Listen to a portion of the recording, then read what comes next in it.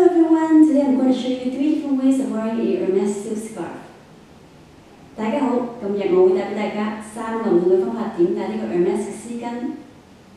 こんにちは皆さん。今日私は3つの方法を Hermes のスカーフの結び方をお見せします。